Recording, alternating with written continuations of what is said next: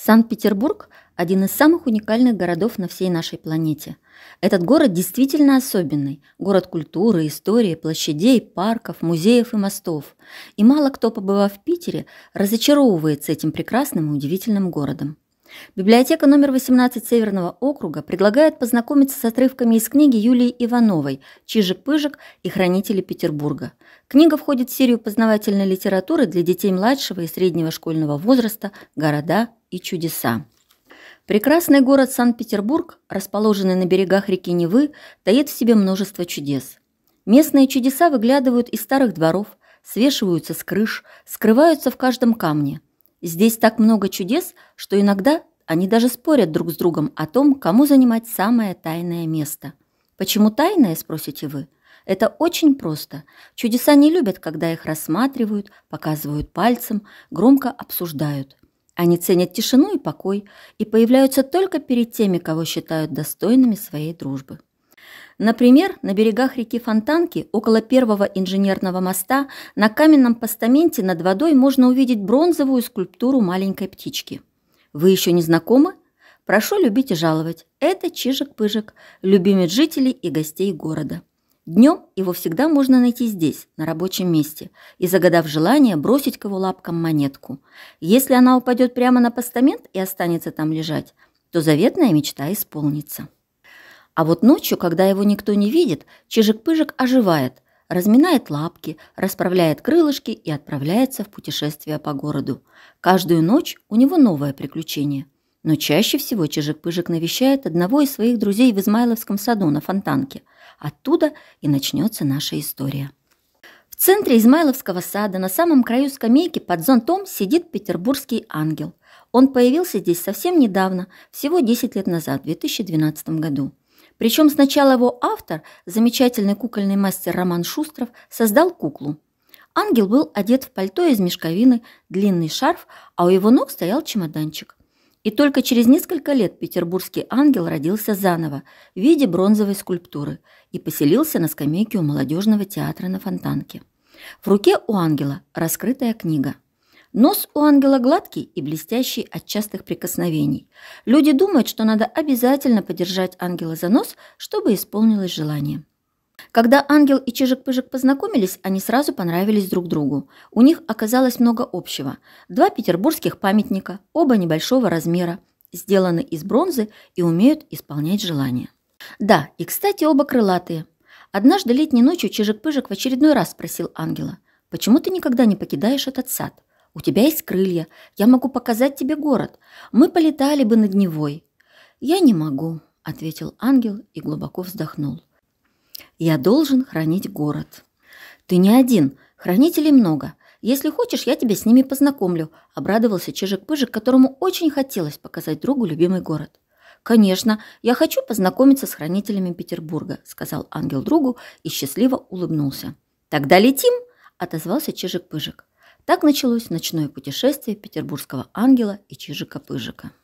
Они полетели в первую очередь на Сенатскую площадь, где на огромном камне лицом к Неве стоит памятник Петру Великому, первому российскому императору. Статуя показалась им просто огромной. Да она такое была по сравнению с ними. «Ого!» – негромко произнес ангел. «Вот это я понимаю хранитель. Это какой же у него рост?»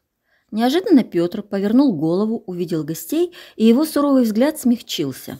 «Во мне больше пяти метров, а с гром камнем аж все десять с половиной», – зычным голосом сказал император. «Я храню покой города днем и ночью вот уже более двухсот лет. Неужели ни разу этого места не покинули, государь-император?» – робко спросил петербургский ангел. «Единожды хотели вывести меня, так как нападения неприятеля опасались. Шла война 1812 года. Ворог дерзнул угрожать Петербургу. Мне пришлось явиться в сон к одному жителю сего места и прямо молвить, что я не намерен никуда отсюда двигаться. Пока я на своем месте, с городом нашим ничего не случится.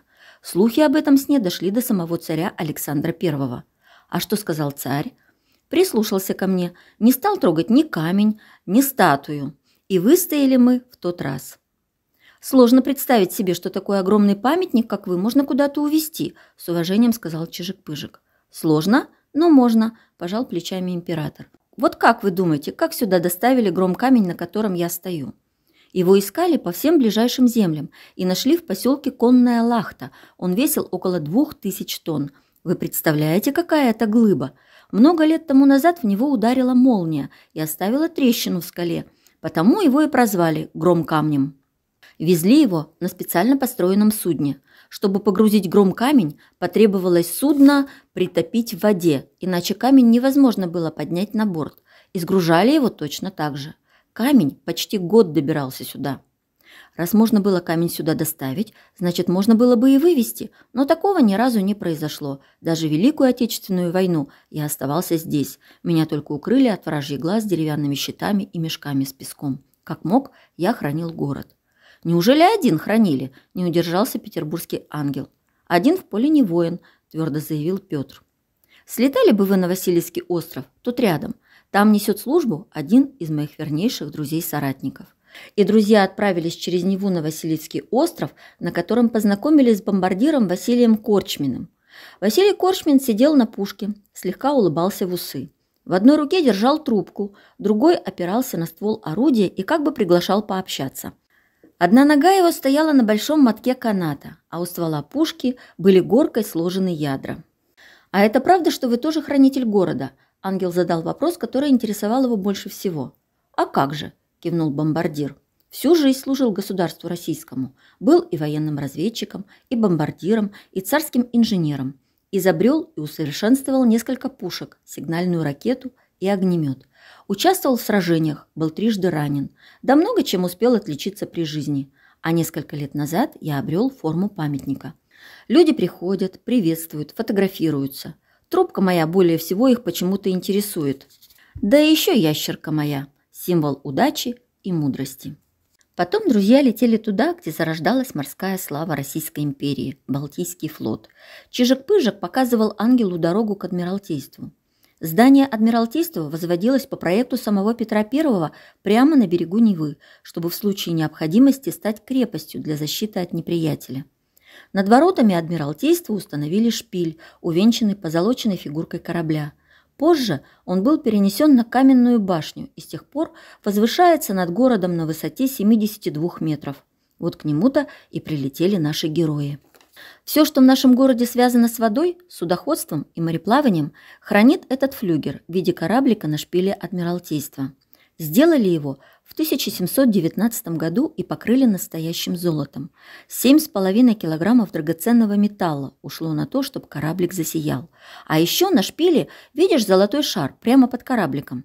Это не просто украшение, это еще и тайник с секретом, поделился Чижик-Пыжик с другом. Я слышал, что в самом начале этой истории, когда кораблик только установили, в этом шаре хранился запертый на секретный замок сундучок, набитый золотыми монетами, отлитыми в Санкт-Петербурге. А сейчас в этом секретном месте, на огромной высоте, хранятся бумаги и чертежи, необходимые для ремонта флюгера. Ведь каждому хранителю нужны забота и уход. Видишь, какой он красивый, блестит как новенький. А ведь этому символу города ни много ни мало, почти 250 лет. А другие хранители корабли у нас в городе есть? Конечно, воскликнул Чижик-Пыжик. Вот, например, скульптура линейного корабля Полтава. Полтава была первым линейным кораблем, спущенным на воду здесь, в Петербургском Адмиралтействе. Имя кораблю дали в честь Великой Победы над шведами, одержанной русскими в Полтавской битве. «Кстати», – встрепенулся Чижик-Пыжик, – «о победах. Полетели, я тебя еще кое с кем познакомлю. Тут совсем близко». Друзья совершили совсем короткий перелет к Дворцовой площади. «Это главная площадь нашего города», – объяснял Чижик-Пыжик. Она называется Дворцовой, так как именно здесь находится Зимний дворец, где раньше жила царская семья. А вот хранительница города, которую я хотел тебе показать. Чижик-Пыжик и петербургский ангел подлетели к арке главного штаба, на вершине которой располагалась величественная скульптура «Колесница», запряженная шестеркой лошадей. На колеснице стояла крылатая богиня. В одной руке она держала лавровый венок, а в другой – штандарт, увенчанный гербом в виде двуглавого орла. Это Ника, древнегреческая богиня победы. Она управляет колесницей славы, символом победы России в войне 1812 года. С тех пор, как она появилась здесь, Ника следит за тем, чтобы жителям города сопутствовала удача. «А вы не скучаете по своей стране?» – спросил Чижик-Пыжик. «О нет», – засмеялась Ника, – «мы все, я, кони и воины, которые мне помогают, любим этот город, хотя погода бывает совсем не радует. Дожди, снега и ветер раскачивали наши фигуры, нас приходилось очень часто ремонтировать. Один раз у меня даже пострадала нога. Так было неловко, богиня на колеснице славы и вдруг одноногая. Но все уже починили, и после последней реконструкции мы все чувствуем себя прекрасно. К тому же мы вовсе не одиноки, у нас тут много друзей. Вот, например, ангел на вершине Александровской колонны. Вы тоже можете познакомиться с ним. Спросите его о трех ангелах, хранящих город. Он расскажет вам много интересного. Друзья последовали совету Ники и подлетели к высокой колонне, которая стояла в самом центре Дворцовой площади. «Это Александровская колонна», – рассказывал Чижик-Пыжик. «Она сделана из цельного куска гранита. Это самая высокая триумфальная колонна в мире. Она была поставлена здесь в честь победы над армией Наполеона. Ее еще называют Александрийским столпом. Ее высота почти 50 метров. И самое интересное заключается в том, что стоит эта громадина строго вертикально, ничем не поддерживаемая и не закрепленная. Только собственный вес удерживает ее. Это целых 600 тонн. Архитектор Агюст Монферран, который спроектировал колонну и сделал все расчеты, уверял петербуржцев, что колонна очень устойчива, но сначала ему не верили. Горожане опасались гулять по площади рядом с новым памятником. Тогда Монферран завел себе такую привычку – каждое утро начинать с прогулки вокруг колонны, чтобы доказать недоверчивым горожанам, что бояться абсолютно нечего. Колонна стоит уже более полутора веков и не пошатнулась даже тогда, когда во время войны земля содрогалась от разрывов бомб. Друзья взлетели к самой вершине колонны, где стояла фигура ангела с крыльями за спиной. Его правая рука была поднята, а левая опиралась на большой крест, который придавливал змея. «Змей – символ враждебных сил», – заметил Чижик-Пыжик. «Мы очень хотели бы узнать о трех ангелах», – сказал Чижик-Пыжик. «Каждый ангел важен для города. У каждого особенное призвание, своя история, своя легенда», – улыбнулся его коллега. Среди прочих существует и такая. Пока три ангела, серебряный, золотой и бронзовый, парят над крышами города, ничего плохого с ним не случится. «Один из них вы», – догадался петербургский ангел, «а двое других?» «Да, бронзовый – это я. Золотой венчает шпиль Петропавловского собора, а серебряный – крышу церкви Святой Екатерины на Васильевском острове. Легенда очень красивая, но силы трех ангелов не хватило бы для того, чтобы сберечь целый город и всех его жителей, сказал ангел. Поэтому мы очень рады, когда появляются новые хранители, даже из других стран, совсем не похожие на нас. Да, кстати, мы как раз сейчас летим навестить таких хранителей, воскликнул Чижик-Пыжик. Место, куда они прилетели, оказалось совсем маленьким сквером в центре города. Это место называется Садом Дружбы. Это подарок нашему городу от его далекого родственника. Китайский Шанхай – побратим Санкт-Петербурга. В честь дня рождения нашего города в 2003 году Шанхай подарил ему сад дружбы. Тут все построено мастерами из Китая, и даже материалы для строительства они привезли из своей страны. В Петербургском саду даже посадили японскую вишню – сакуру. «А вот и хранители!» – воскликнул Чижик-Пыжик. «Они любят, чтобы с ними здоровались по-китайски», – тихо добавил ангелу и погромче произнес. «Нихао!» «Нихао!» – сказали в ответ удивительные львы. У них были коренастые тела, крепкие лапы, как у бульдогов, и глаза немного на выкате, напоминающие лягушачьи. Под передней лапой одного из них находился большой шар, напоминающий мячик, а под лапой второго – львенок. «Мы ваши друзья», – представился Чижик-Пыжик. «Хотим больше узнать о хранителях города». Львы гордо переглянулись. «Да, охранять мы умеем. На нашей родине, в Китае, нас называют шидза – львы-стражи. Таких, как мы, сажают у входа во дворец или усыпальницу. Обычно нас двое – лев и львица. Сидя у входа в дом или храм, мы защищаем проход, не пускаем злые силы внутрь. А что это за шар у вас под лапой? Мой шар – это символ знания и могущества. «А еще он может исполнять желания», – ответил лев. «Как интересно! Внешне вы совсем не похожи на других львов», – заметил Чижик-Пыжик. «Мы прибыли издалека, но здесь не чувствуем себя одинокими. В нашем садике живут драконы. Их семейство расположилось на стене девяти драконов. Если вас интересуют хранители, то вам обязательно надо с ними познакомиться. Драконы, казалось, совершенно не ждали гостей. Они не обращали никакого внимания на приблизившихся к ним друзей, играли в волнах с жемчужинами и переговаривались друг с другом на непонятном языке. Драконы выглядели непривычно. Тела у них были вытянутыми, изогнутыми, похожими на змеиные. Звериные лапы расставлены в стороны, пальцы с внушительными когтями растопырены. Тела драконов были разноцветными, но у каждого на спине сиял белый гребень, головы были украшены рогами – а главное, у них не было крыльев, зато были длинные и тонкие усы. Мы китайские драконы, особенные. Мы умеем летать без крыльев и повелеваем водной стихией. Реки, моря, смерчи, дожди, наводнения – все это в нашей власти. А жемчужины – это символы солнца и нашего могущества. Именно они помогают нам в борьбе с любыми врагами. В них вся наша сила. Мы, драконы, очень древние создания. Нас высоко чтят на родине, в Китае. Китайцы даже считают себя потомками дракона. А людям мы помогаем, потому что они кажутся нам хрупкими и беззащитными. Даже один дракон приносит удачу и благополучие в дом. А если нас девять, и мы собираемся вместе, то нет такой враждебной силы, с которой мы не смогли бы справиться. «И мы здесь не одни такие. Есть и еще», — сказал Золотой Дракон. «Летите к Академии художеств. Они обитают прямо напротив». Два друга полетели туда. Напротив Академии художеств, глядя друг на друга, возлежали на высоких постаментах хранители города из Древнего Египта. Это сфинксы. Родом они из Египта, а Египет – это одна из самых древних цивилизаций. Древние египтяне были убеждены, что лев – это самое сильное и красивое животное, а правители Египта, фараоны, считались мудрейшими из людей. Сфинкс, по легенде, совмещает в себе силу льва и мудрость фараона. Вот почему у него тело льва, а голова человека, рассказал Чижик-Пыжик. Это не просто какая-то выдуманная голова, а голова реально существовавшего фараона, который управлял Египтом в давние времена.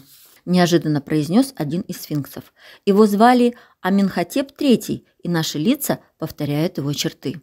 Мы родились давным-давно в египетском городе Фивы – нас создали из красно-серого гранита и установили рядом с гробницей фараона Аминхотепа III, чтобы мы защищали его усыпальницу от злых сил. На наших лбах были украшения в виде кобр. Мы прекрасно справлялись со своей задачей, но время шло и шло. Со временем путь в гробницу был забыт, храмы, а с ними и наши тела, занесло песком. И только в 1820 году один греческий археолог обнаружил нас, занимаясь раскопками на месте древней столицы Египта – нас выставили на продажу и приобрели для России. С тех пор уже почти 200 лет мы служим этому городу, наблюдаем, защищаем, охраняем от злых сил. У нас и помощники есть, крылатые львы, грифоны. И действительно, к разговору чутко прислушивались четыре бронзовых существа. Их уши были прижаты к голове, как будто грифоны хотели выглядеть злыми, но почему-то ангелу показалось, что это только маска, чтобы отпугивать врагов, потому что глаза у крылатых львов были добрыми. Вы тоже исполняете желания?» «Исполняем», – важно ответил ближайший к нему Грифон. «Только не все, конечно, а самые заветные. Но люди верят, что если положат одну руку мне на голову, а другую на язык, то их желание обязательно исполнится». «Я скажу вам по секрету, совсем не обязательно трогать нас», – сказал второй Грифон. «Если у человека есть заветная мечта, то мы ее все равно услышим». «Кстати, совсем скоро рассвет». Да, город просыпался, надо было спешить. Ангел и Чижик-Пыжик прилетели в Измайловский сад и присели на край скамейки. «Хорошая получилась прогулка», – улыбнулся ангел. «Но у меня осталось много вопросов. Почему ты ничего не рассказываешь про себя? Ты ведь тоже хранитель, хоть и маленький». «Да, я тоже хранитель. Я храню петербургские секреты», – признался его друг. «Летаю повсюду и каждый раз узнаю что-то новое. И я могу открыть тебе самый важный секрет про хранителей Петербурга – Хочешь? Конечно, хочу. У нашего города много хранителей, памятников, скульптур, сказок и легенд, больших и маленьких, местных и приезжих, выдуманных и вполне реальных. Но город хранят не только они. Самая главная защитная сила Санкт-Петербурга – это любовь его жителей. На лице ангела заиграла улыбка, когда он произнес. А я ведь всегда чувствовал это. Со мной случилась такая история. Однажды осенью я остался без зонта. Пока его ремонтировали, мне пришлось сидеть на скамейке прямо под дождем, и я ощущал себя совершенно беззащитным. И ты знаешь, незнакомые люди приходили ко мне со своими зонтами и укрывали от дождя. Много людей. Они сменяли друг друга, и я чувствовал их душевное тепло и любовь. «Люди стали твоими хранителями», — сказал Чижик-Пыжик. «Да, и еще они повязывают мне осенью теплый яркий шарф, и мне сразу становится теплее», — добавил ангел. «Время от времени мне приносят монетки, конфеты, грозди рябины, яблоки, осенние листья, а летом цветы. Люди так любят меня». «Я именно об этом и говорю», — подхватил Чижик-Пыжик. «Люди с любовью в сердце — главные хранители города. Мы все в безопасности, пока умеем любить». Так и закончилась эта история. Наступил новый день, ангел остался ждать гостей в Измайловском саду, а Чижик-Пыжик вернулся к себе на фонтанку. Но будьте уверены, что маленький хранитель секретов знает еще много интересного о Санкт-Петербурге, и он обязательно захочет поделиться с вами новыми историями. Читайте продолжение истории про Чижика-Пыжика Юлии Ивановой. Эти истории сочетают в себе сказочный сюжет и познавательный материал для детей и представляют собой увлекательный путеводитель по Петербургу. Спасибо за внимание.